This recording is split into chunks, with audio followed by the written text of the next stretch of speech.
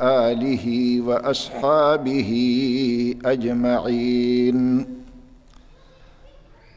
أما بعد فأعوذ بالله من الشيطان الرجيم بسم الله الرحمن الرحيم وما أرسلناك إلا رحمة للعالمين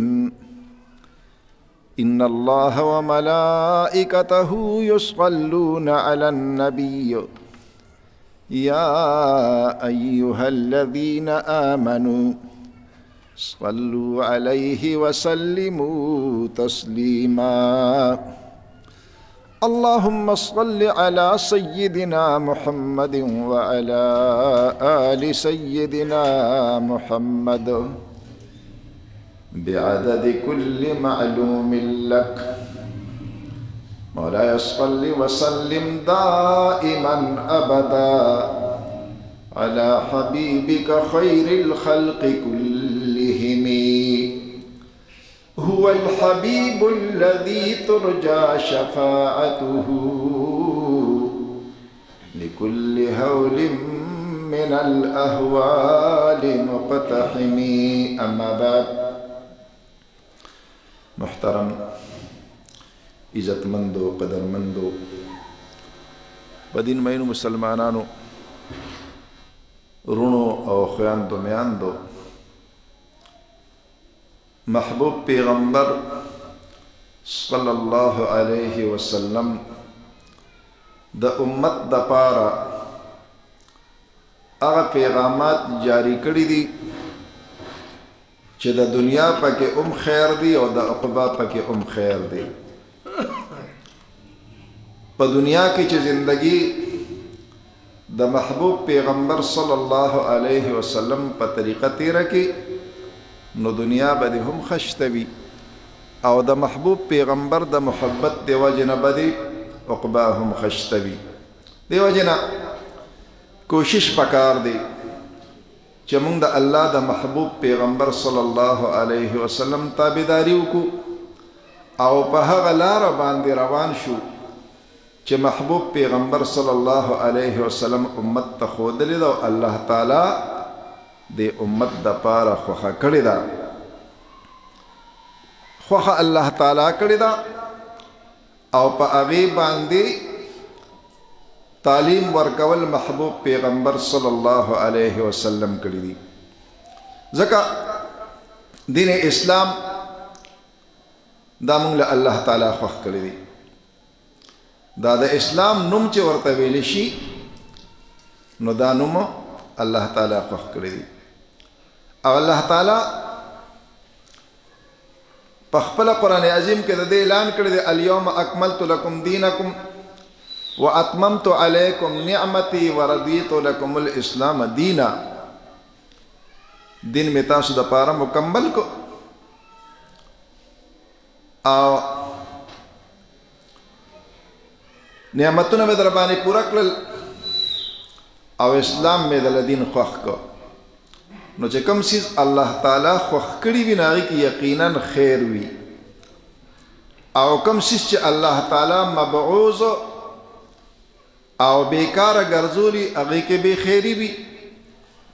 د الله په دین کې همیشه د پاره خیر دی د الله د دین نه روګرداني همیشه د پاره د بی خیره نه ډکه وي محبوب پیغمبر چې څه خودلی دي په هغه باندې عمل کول د دواړو جهانو کامیابی ده او د هغه نه خلاف چې سړی کوي نو اول به د دنیا کې ذلیل کیږي او بیا به په عقبا کې ذلیل کیږي نبی کریم علیه الصلاۃ والسلام یو ځل مسجد کې داخل شو دوه ډلې ناستې وي یوه ډله د الله په ذکر کې مشغوله و دعاګانو کې مشغوله و او بل ډله د دین په زده کولو کې مشغوله و نو نبی رسول الله والسلام او فرمایل دا دوه ډلې په خیر دي کوم چې ذکر اذکار کوي دا هم د خیر ډله ده او کوم چې تعلیم او تعلم کوي نو دا هم د خیر ډله ده خو په خپل باندې په هغه ډله کې کېناستو په کومه ډله کې چې د الله دین زده کېدو ښودل کېدو او یې فرمایل بعثت معلما چې زه استاد را لېږل شوی ما امت ته تعلیم ورکوم او د امت تربیت وکوم نو ذکر د الله تعالی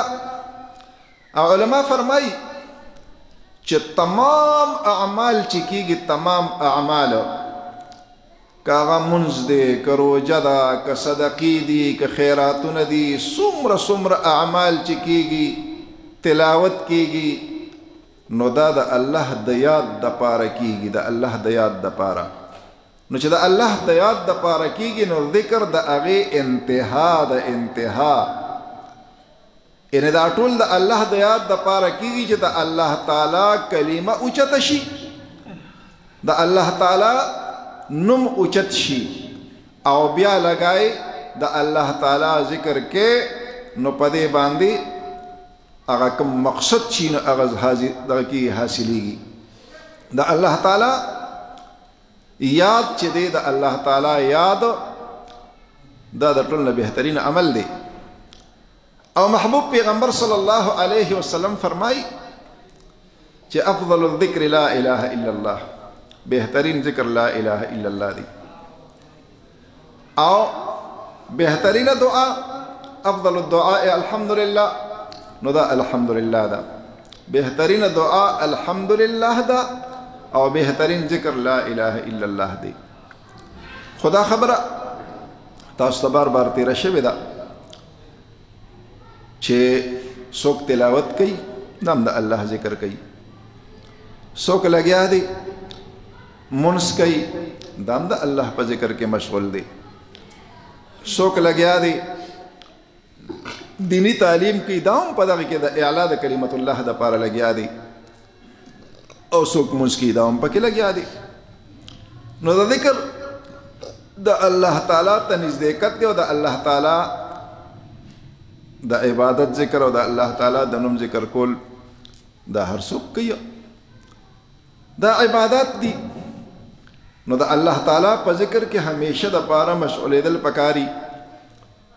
د منس په ذریعه سره هم د تلاوت په ذریعه سره هم او د عام ذکر چې موږ ته ذکر وې د په ذریعه سره هم او بیا ذکر هغه صرف لا اله الا الله نه دی ډېر پکې شاملېږي درود شریف سړی وینو دا هم په ذکر کې شامل دی دعاګانې سړی کوي نو دا د ذکر نه پس اکثر خلک دعاګانې کوي او محبوب پیغمبر فرمایي چې تر هغه پورې به قیامت نه قائمېږي تر کومې پورې چې الله الله ویل شي لا تقوم الساعه حتى لا يقال حتى يقال الله الله او كما قال عليه الصلاه والسلام یعنې تر هغې پورې به قیامت نه قایمېږي، قیامت به نه راځي چې څو پورې الله ویونکی په مخ د ځمکه باندې موجود وي. چې د الله د نوم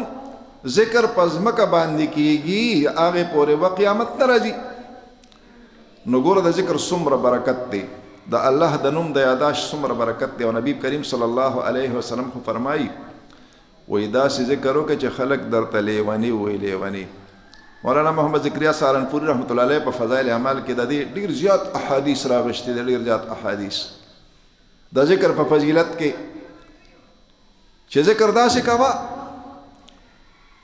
چې خلق درته لیونی وی لیونی چې دا سلی بنې لګیا دی دومره پورې ذکر کوه او زویم چې یو سیکنډ نه دی یو سیکنډ چې دا هم د الله د یاد نه بغیر تیر نشي د الله په یاد کې تیر شي سړی لګیا دی او په ذکر کې مشغول وي په لار روان دي په ذکر کې مشغول دي بهترینه طریقه دا ده چې د ذکر د پاره کینی او ټیم ولا مخصوص کې خدا مقصد نه دی چې ګینیرا په لار رواني په سکار کې مشغول او ذکر باندې کې ذکر کنه کې باتروم کې باندې کې او د سیماته د ټیم کې باندې کې ډوړې فرې دا ټیم کې نه کیږي مطلب چې هغه جدا خبرې دي خو تاسو ته ما یو خبره کړې و چې په دې طریقو کې سلور طریقې دي د تصوف د تصوف سلور طریقې دي او د کې بزرگان را چلیږي او لګي په دغه ذکر کې او مریدانو لم ورکي او عام خلکو لم ورکي خو د مورید او د عام ذکر فرق دی مورید له چې کله ذکر ورکوي نو هغه مخکې نه بیعت کی او د هغه نه مخکې اقرار واخلي چې زه به ګناهونه نه کوم په نیکۍ کې به لګیا یم د الله د دین اطاعت به کوم د الله د دین خدمت به کوم او په جایز امور کې به د خپل مرشد مخالفت نه کوم بیعت ته اخلي د هغې نه پس ذکر ورکوي او یو عام ذکر دی نو عام ذکر خلق هر چا لور کې پلان کې وظیفه کوه ثواب پکې ډیر دی دا عام ذکر دی او د مرید او د پیر خپل ذکر دی دا خبره تاسو ته وضاحت سره شوی هم و سلور طریقې دي زموږ په پاکستان کې دا یو طریقه دا سه نشم بیل خو زما په خیال سره لګی چې نشته دی سرور دیا او درې طریقې پاکستان کې رایج دي او خپل مرشدین او پیران یې خلکو له ورکوي چې یو قادریه ده یو چشتیه ده او یو نقشبندیه ده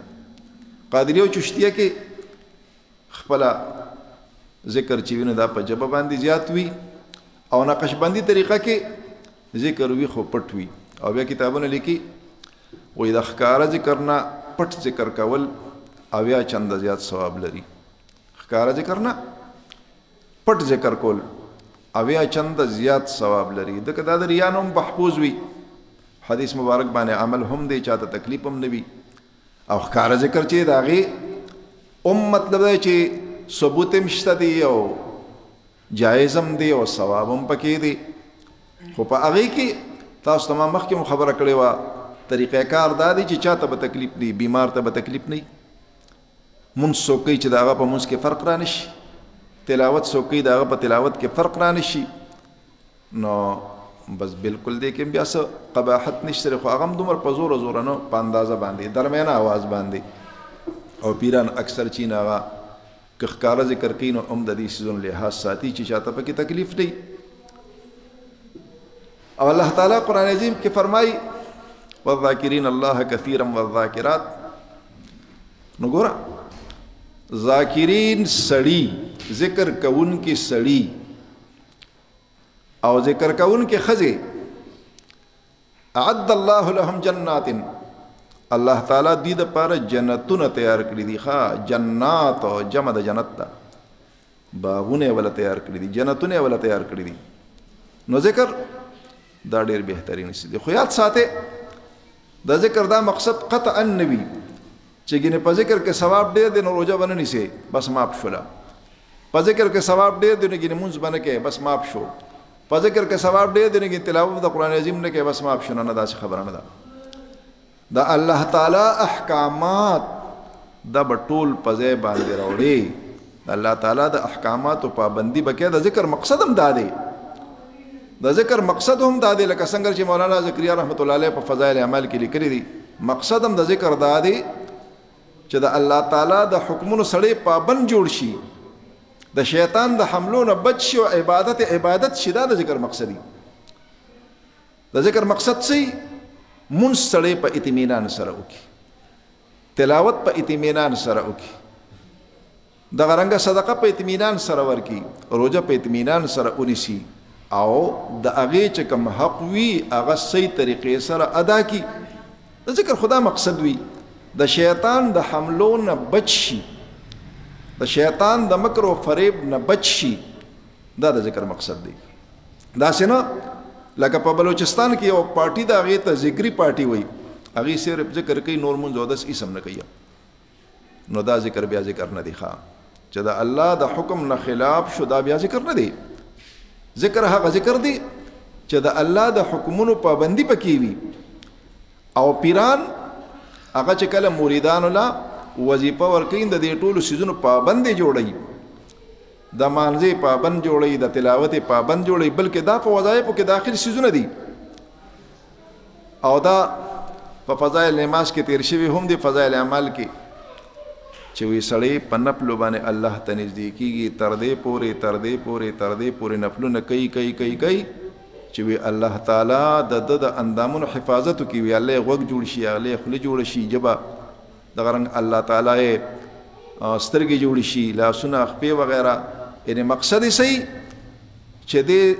د الله تعالی دونه محبوب جوړ شي چې لاسونه، خپې، سر، سترګې، ژبه، غوږونه دا ټول یې د الله د حکم مناسب استعمالېږي،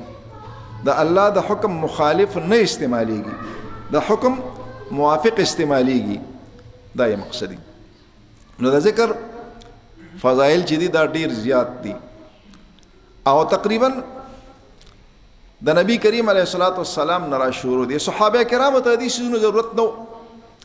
چې په دې طریقې کولې دا غي وجدا و چې دا غي ټول ژوندۍ په هر په هر شعبه کې و هغه په یو وخت کې مجاهدین هم اپ یو وخت کې معلمین هم اپ یو وخت کې قاریان او حافظان هم هغه په یو وخت کې مجاهدین هم او ورسره ورسره محدثین هم د الله د دین مفسرین هم په یو وخت کې پاغي کې ټول صفات الله تعالی کې خودلو د صحابه کرامو نه پس دا سيزونه تقسیم شو نو څوک محدثین دي او څوک قاریان دي او څوک حافظان دي او څوک ورپسې پیران وغیرہ وغیرہ خدا سيزونه بیا تقسیم شو هغه وخت کې د نبی کریم صلی الله علیه وسلم هغه فیض نظر داسې مضبوط و چې صحابه کرامو کې تمام صفاتونه موجود تمام صفاتونه او هر صحابي به داسې عجیب انداز کې د مافي ضمیر اظهار کو چې خلق به ته حیرانو داسې عجیب انداز کې یو ځل وی نبی کریم علیه الصلاۃ والسلام ته خلق رال چې مونږه مقابله کوو تاسو سره په تقریر کې مقابله کوو په دې کې مقابله کوو دې کې کوو اشعارو کې کوو نو هغه کې او پس کس پاسې دوه هغه خپل تقریر کو ډیر په عجیب انداز باندې نبی رسول الله سلام یو صحابي ته اشاره کوي پاسه دې جواب وکا هغه صحابي تقریر وکړ هغه تقریر پکې ختم شو دا غبل کم مشرک شو داغه تقریر حیثیت اړو پاتې نشو به اشعار ویلې نبی رسول الله سلام یو صحابي ته د اشعار اشاره وکړه چې وای دا اشعار تم وای اې کې مقابله وشوه څو څیزونو کې مقابله وشوه نو هغوی حیران پاتې شو چې په دین اسلام کې الحمدلله د هر څیز دغه شته دی علاج شته دی په دین اسلام کې چې کوم عزت دی کوم قدر دی کوم منزلت دی دا په یو سیس کې نشته دی نو د الله ذکر دا داسې ضروری دی کنه داسې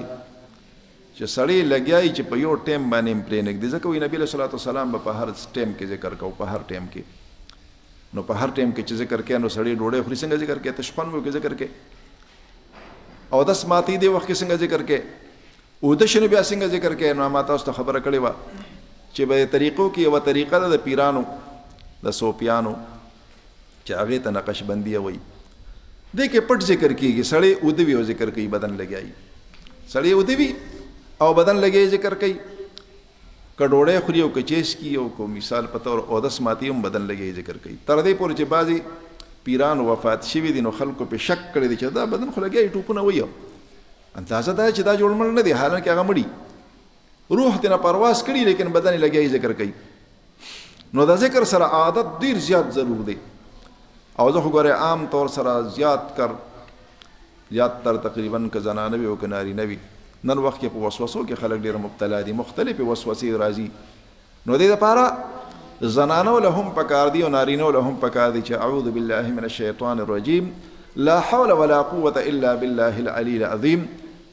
دا دی خامخا سل کره دی خو دی لازمن وی او چې زیات څومره ویلی شي نو خدي ځکه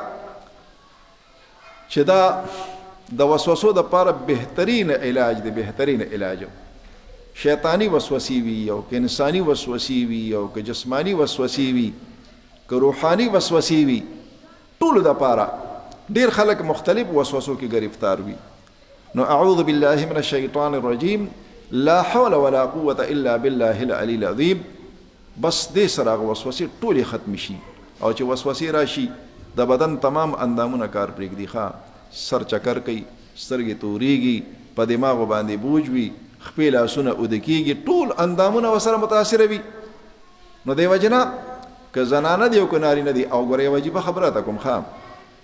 سبحان الله والحمد لله ولا اله الا الله والله اکبر دا وی د الله د خزانو یو خزانه ده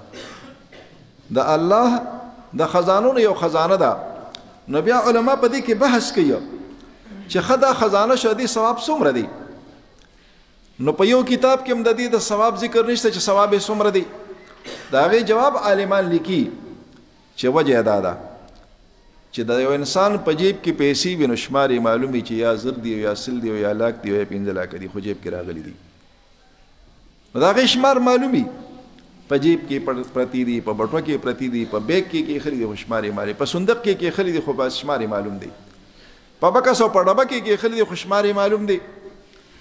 او خزانه چې وینو خزانه خزانه ته ځکه خزانه وي چې دا غي شمار معلوم نه بي حساب یو نو د دې وجه نه د سبحان الله والحمد لله ولا اله الا الله والله اکبر ثواب هم به حساب دی دا خزانه ده نو دا تعداد ځکه نه دی خودلې چې د دې ثواب ګیند او حد غرم لدی او زیات دی او کم دی نه دا خزانه ده نو چې خزانه شو بس ثواب حساب شو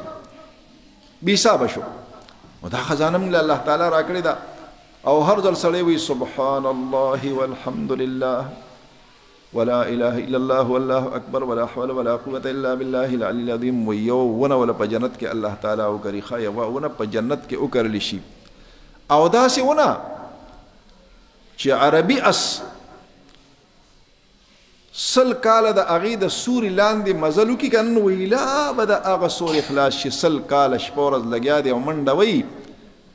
عربي اس هم د دې وجې نه یاد کړی دی چې عربي اس ستړي کېږي نه، عربي اس خېټه نه وي، هغه اوچ کلک وي خو هغه د کار وي، هغه دومره منډه ووهي که نه چې سل کاله مسلسل منډه وي سل کاله نو اله به د یو سر نه بل سره پورې د هغې ونې سورې خلاص شي دومره غټه ونه الله تعالی ورکړي نو دا ونه به د څونه برکتونه ډکوي او دا ګویا کې یوه ونه نه شوه که نه دا خو په لکونو نه شي په کروړونو دا یوه ونه په کروړونو کې حساب کا د کروړونو نه یې وربره کا ځکه چې دومره غټه شي خو د دې شاخونه به هم دومره غټ وي د دې څانګې به هم دومره زیاتې وي چې دومره خوري وي او بیا په هر طرف باندې سل کاله مزل په هر طرف باندې نه سلور طرف باندې د دې نه مزل چاپېره ګول سل کاله مزل کې دومره غټه اونه دا څومره لوی ثواب دی چې سل کاله په یو اونه او یا تاسل کرتی وینو سل اونه د الله تعالی کری په دې دنیا کې تاسو ګورئ کنه